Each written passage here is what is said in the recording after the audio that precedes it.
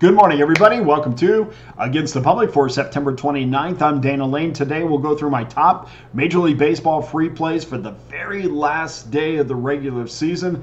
Seems like it was March 28th, like a month ago, but here we are at the end. Uh, it's been an interesting baseball season. Again, as a Pirates fan, eh, you know, we are where we are every single year. And uh, next year, I'm sure they'll uh, sell us on Jared Jones and Paul Skenes as they should, but. I've been doing this long enough to know.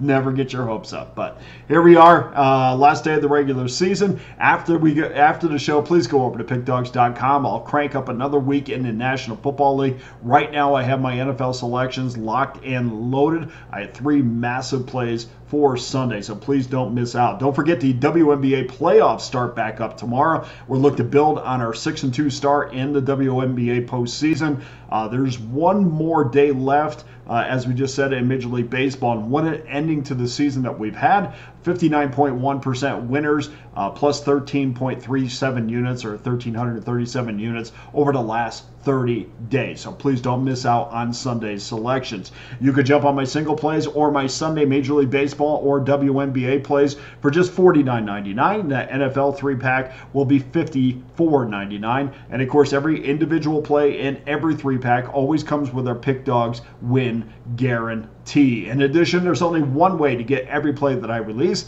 and that's to simply become an all access member. And you could do that over the next 30 days for less than $11 a day, the next 90 days for less than $10 a day, or better yet, guys, just jump on that all access pass for the next 365 days. Comes out to be about $3.70 a day. I'll take you all the way through the NFL season, the college football season, uh, upcoming NHL season, uh, of course, NBA college basketball, and the rest of the uh, Major League Baseball season. And we'll take you right to this point uh, this time next year with that 365 day pass. So uh, make sure you get involved in that. Thank you to everybody that has so far. Let's get to your free plays for Sunday. Remember, these are probable pitchers.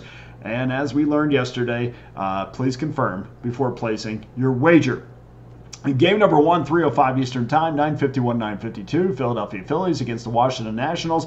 Aaron Nola against Jake Irvin. Uh, Nola, $1.84 road favorite, 7.5 over minus $1.22. Uh, I also want to preface any of these selections by saying uh, you also want to keep in mind that a lot of these games, especially the last game of the year, will likely turn into bullpen games. So don't expect Aaron Nola or Jake Irvin, well, especially not Jake Irvin, but don't expect Aaron Nola to throw 100 pitches in this game. That's just uh, most, from what we've seen, uh, most of these uh, starters get you know three, four innings and then they get yanked, especially if they're going to the postseason. So we'll see how they they handle it, but um, that's kind of what we saw on Saturday. Okay, um, let's get on this. Uh, boy, that stinks because I've been talking to myself uh, before we before I went on. That number, that consensus number on the total was seven and a half, but the juice was a dollar twenty two at some places, a dollar twenty at most places, and I'm like, man, I gotta get on and do this video now because that looks like, and we know that the public likes to bet the over, so it looks like that that juice is going to burst up to eight, and it already has. So we'll have to go with that. Uh, really wanted to get that seven and a half in there, but we'll get to the eight. Um, either way, it's fine. Uh, is scheduled to start, but uh, again, uh, very reason, uh, very little reason to think that Rob Thomson's going to keep him out there for 100 pitches. So always have to anticipate the bullpens when we're looking at the last day of the season. Nola wanted the division clincher for the Philadelphia Phillies, but recent form uh, has shown that there's been times where he hasn't been as sharp, um, at least sharp enough to bet the under with total confidence. He's one and two uh, over his last five starts, a 4.82 ERA. Jake Irvin, 10 and 13, a 4.22 ERA, has had an acceptable season, uh, I would think, to the, the Nationals brass. Uh, probably, you know, is going to be a, a, prominent member of that staff next year over his last five starts.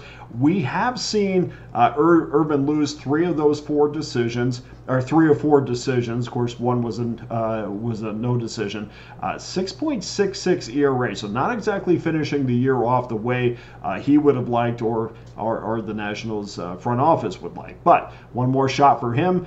He's been a lot better on the road than at home. Opponents are hitting 25 points higher at National Nationals Park. Um, so when he's on the road, he's been a lot better uh, than pitching at home. In the second half of the season, Irvin is three and five with a 5.48 ERA. I'm going to take the over on this one. We're going to have to go over the eight now. I really wanted at seven and a half, but we'll have to go over eight. And you're getting even money, so that's not too bad. We, are giving up a dollar twenty for even money, so we'll go over that eight and even money. Game number two, 3:10 Eastern Time, 967, 968. Oakland Athletics against the Seattle Mariners. Uh, this will be the last game uh, for the Oakland Athletics under the uh, label of Oakland Athletics. Seattle minus $1.75 at home. Seven and a half is your total. Seven and a half under minus 20. Mitch Spence against Logan Gilbert. Now, some sites have Bryce Miller starting this game for Seattle. Uh, but the word is that Logan Gilbert's going to get the ball. Just keep it in mind, uh, just to double check before placing your wagers, because a lot of these, and we'll talk about that in the next game. A lot of these things um, kind of get screwed up a little bit uh, as managers want to get uh, a look at some younger pitchers, and of course they don't want to throw uh, guys like Gilbert, um, you know, eight nine innings. That's not going to be productive, and that's not what you're going to see out of most managers tomorrow. Uh, it really doesn't affect the play whoever does start this game, but uh, typically, again, this is going to be a bullpen game, so you're going to have to uh, factor into bullpens over this past week weekend a little bit more than you would in the past. early betting patterns show that the public is on the over, but uh, not enough to change this number. Uh, at even money, that's a number I think that we want to jump on right now. I don't think the number is going to change at all, so we don't have to worry about that as we did in a previous game. But of course, you want to get the best juice available, and I think you're having it right now at even money, or you have that right now at even money. Mitch Spence, uh, 8 9 this year, a 4.35 ERA overall. Hasn't been sharp since the calendar turned to September, even though he is 3 and 2 with a 3.46 ERA. And you say, well, well how could that be? Well, if you watch his games uh, or talk to people that know the organization well, they'll tell you yeah, the numbers are good, but boy, he has had to pitch himself out of jams a couple times. As a matter of fact, a lot of times.